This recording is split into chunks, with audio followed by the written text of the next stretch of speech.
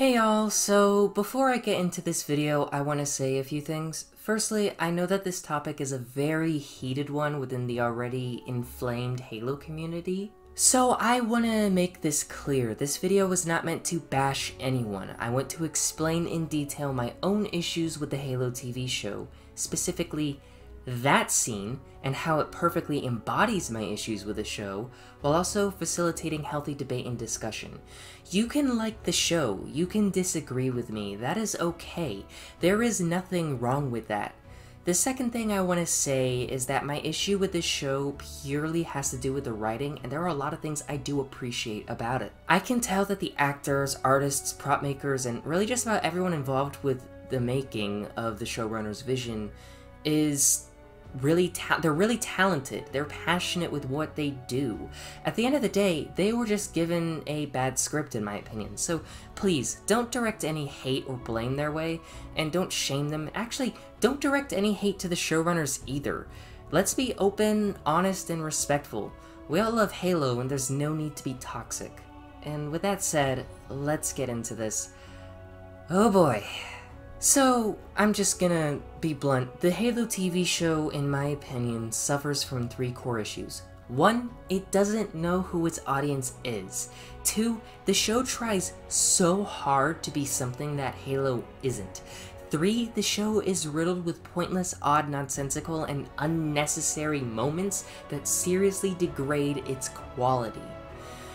I think it is safe to say at this point that the core audience intended for the show was not necessarily meant to be Halo fans. That, or it does not know who its audience is. There are so many moments in the show where things are really dumb and simplistic, and yet it tries to be deep and meaningful while trying to take the Halo narrative and reinvent it to be what the showrunners want. At times, it is really hard for me not to think that the intended audience of this show was actually not the Halo community, but rather it's meant to be a sci fi show to get people into Paramount Plus with a Halo aesthetic slapped onto it. It's like someone took the dialogue from a CW show, mashed it with Game of Thrones, and sprinkled in some Halo on top of that. And that's this show. Honestly, given that Paramount seems to be really hell-bent on saying, mission accomplished, boys, this show is a smash hit, due to the new people uh, the show is bringing into their streaming service, despite the clear and obvious uproar from the Halo community, I, I, I just can't help but feel that way the show tries really hard to basically reinvent Halo. And even if this is not the case, it's as if the writers looked at the Halo canon and felt they could do better. And forgive me for thinking this, but it's hard not to feel this way when their own rhetoric towards the canon and games, well, it's extremely disrespectful and condescending. It's almost scornful and defensive. They try to talk as if the games and canon of Halo have no depth no emotion, no character. The Chief is this flat, emotionless automaton, and that speaks volumes to me because he stopped being an automaton on the screen when Halo 3 ended. And then, then there were already books by that point developing him as a character. He felt grief, fear, love, happiness, anger, just the hallmarks of a regular human.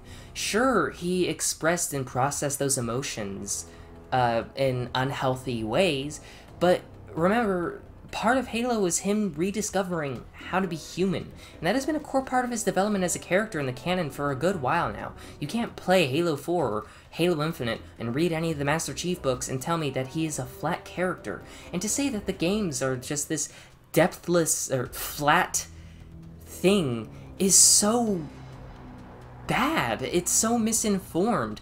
It completely ignores the many heartfelt and emotional moments, both in the games and the books. And the showrunners seem hell-bent on saying that they're doing something that has never been done before, that they're humanizing the Chief. But what they're doing is portraying the Chief as this impulsive, almost psychopathic, selfish, violent, unhinged man that is a slave to his instincts honestly, thank God Pablo Schreiber is the one playing the Chief, because he is the one carrying this.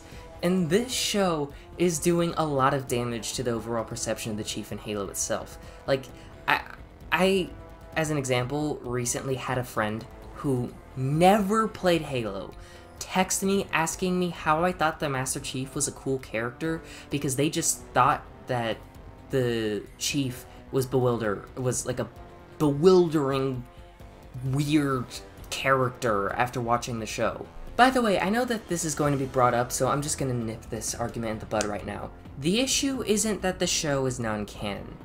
You can have a non-canon adaptation for something that is good. At some point, you gotta call it as it is. Bad writing, while subjective, is bad writing. This has nothing to do with lore accuracy, this has everything to do with how this is just a bad adaptation. Actually, this is not just an adaptation, this is a blatant attempt at redoing Halo. And it's a bad attempt. And for the record, I'm not a hater. I was actually enjoying the show. I admitted that my misgivings about the show were wrong when I saw the first episode in a video not too long ago. I was enjoying the show until that scene where the chief takes out his Spartan and proceeds to out of the obviously indoctrinated Covenant spy while Cortana fucking watched. And that brings me to my third point. The show tries so hard to be space Game of Thrones that it just becomes riddled with nonsense. And I mean nonsense. You mean to tell me that the chief was only known this woman for a very limited amount of time who has just, you know, uh, lost all his trust in Halsey, who I am just gonna say this, just as just as a quick little side tangent. The chief trusted Halsey. He's not, and he's clearly not emotionally developed. So, for him to just trust this obviously indoctrinated Covenant spy is so odd after he just lost all his trust in the person that he trusted more than anyone else. Also, where the hell is the security in ONI? You mean to tell me that the same organization, who was so afraid of the notion that the chief could turn on them, that they added in a function into his suit that could suffocate him, is now letting the emotionally unhinged Master Chief walk around with the suspected spy? Also, is nobody gonna be suspicious of Makee after she threatened the medical staff with her hidden plasma nail knife thing? I'm just saying, for someone who was allegedly held hostage and abused by the Covenant, it's sure strange that they would arm her with a hidden weapon. Also, for an alleged escapee, she sure praises the Great Journey a lot. And yet, the Chief is just allowed to go on a date with her, where they then proceed to fuck? Why? Why? This feels like a poorly done fanfiction, and, for the record, fanfiction is awesome, and I've read better fanfics than this. Hell, I like to write fanfics from time to time. I'm not afraid to admit that. And carrying on with this theme of unnecessary, nonsensical plot points, the show is riddled with this. Like Aiden, Halsey's partner or whatever, was about to force himself onto Halsey's clone, and when that clone was restrained, unable to protect herself no less. And, you know, she was also about to be killed moments later. That is orders of magnitude levels of fucked up. And they never address this again. Ever. Like, it just happened and the show forgets it happens. I'm not against the darker aspects of humanity being shown in a story. Horrible, horrible things like this can happen, and we oftentimes shy away from it, understandably so. So when a show or a book or a movie or a comic or whatever form of entertainment includes something like this, it needs to be relevant, well done, meaningful to character development, and it needs to be emotionally powerful with its execution. It does none of that. It just added it in to add it in. And then there is the nudity. And it is because of the nudity that I feel this was very deliberately an attempt at Space Game of Thrones. I'm not against nudity. I'm not against scenes of intimacy in media. I think that we are way too squeamish about that. The human body is a very beautiful thing, and if done right, intimate scenes could be a powerful culmination of character development. But this show just does it wrong. So the Sheen So, the scenes with the Chief and later on Kai being nude to take out their emotions, suppressor things, that makes sense. I understand that. But then there's the romance scene. That time Oh, and don't don't forget that time Makee was getting undressed in the middle of Halsey's monologue. Like, what the hell did that have to do with it? And actually, I think the biggest one for me was Vinsher's bath scene. Vinsher was a character that really interested me, and I loved where the show was going with him. The way he's publicly so, we don't need to fight. Let's pursue peace. And then off camera, he's this vicious, brutal, totalitarian warlord. So well done. When he was just straight up executing people in the street without a care, and then looking at someone's face to be like, oh, you're pretty. Bang! Not anymore. Instantly, I was interested in this character. I saw how he operates. I saw that he's not just some classic goon with a monologue trope, and that he gets shit done himself. I was down for this. And then I immediately lost interest when he had a Bond villain monologue while swimming in an oversized bath. Why did they have to do that? Why was this necessary? And then there's the really dumb details too, like Planet Reach, Reach City. You know they could have chosen from any of the cities on Reach in canon, any of the cities, like New Alexandria. Not that hard to call it New Alexandria, and they chose to say, nah, we'll call this Reach City. Like, they were just either really pressed for time and just ran out of time, or they think that the audience is fucking stupid and I can't tell which is which. And going back to the canon versus adaptation argument, some of the best parts of the show have been where it even vaguely resembles the source material. The start of the first episode, with the insurrectionists talking about the Spartans as these almost mythical, unkillable machines with bravery but a hint of fear, that was the perfect way to adapt a theme or idea from the canon without just straight up copying and pasting it. In the canon, insurrectionists have children's rhymes painting the Spartans as the killing machines that the insurrectionists were saying they were in the show. And we got a good look at that in the Cole Protocol. Speaking of that book, speaking of that book, excuse me, The Rubble, they basically perfectly encapsulated the look of it and feel from it from the book while also keeping their own fresh spin on it. Instead of an insurrectionists run government, the rubble is a home for insurrectionists, pirates, mercenaries, outlaws, and that's fine. Soren, by the way, in canon, was mutilated and defected from the UNSC, and he was shot down. That same thing happened here, but he survived and went on to become a pirate, and Soren is one of the highlights of the show for me. Even just taking the time to show the brutality of the Covenant and their plasma weaponry was just mwah, chef's kiss. Seeing the Spartans in action and how they kick ass is awesome. Even that scene where they're all looking at a glassed world and just painting the true dread and distress of that kind of situation was haunting. And you know what? We haven't seen many examples of humans reacting in the glassed worlds for the first time.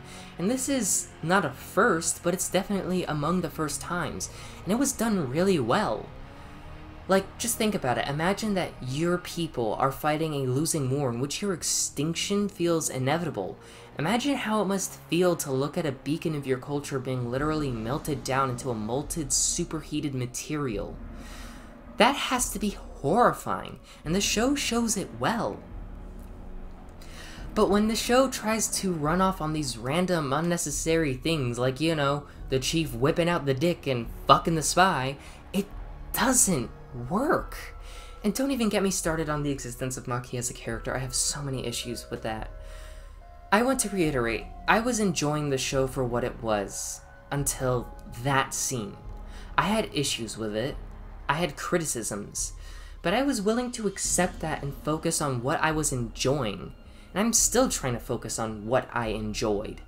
This scene pushed it way too far.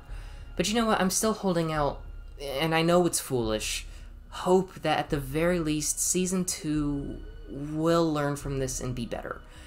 Because you know what? There are good aspects to the show. The action is amazing, the world building is amazing, and there are some moments where it's just really beautiful. I think a moment that stuck out to me was the chief going through Reach City and experiencing music for the first time. That was a very beautiful scene. The Mjolnir armor looks so cool. The props look amazing.